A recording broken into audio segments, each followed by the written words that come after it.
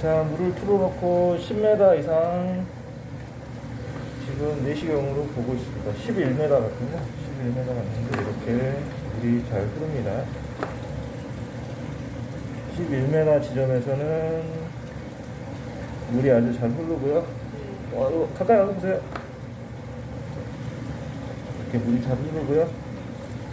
그 다음에 좀 더 떼볼게요. 구배가 살짝 안 좋아져요. 약간 기울기가 안 좋아요. 물은 계속 흐르는데 좀 차서 흘러가는 스타일이 곤란하고 이게 한 9m에서 8, 8m 지점이에요.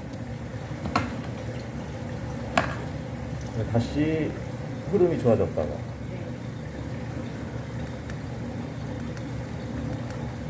흐름이 좋아졌다가 다시 안 좋아지고 자 물은 틀어놨거든요 잘 흐르고 있죠?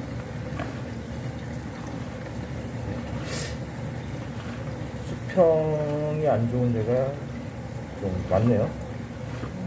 또 좋아졌다가. 네. 좋아졌다가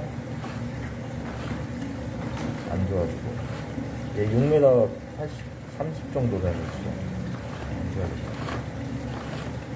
물은 계속 잘 흐르고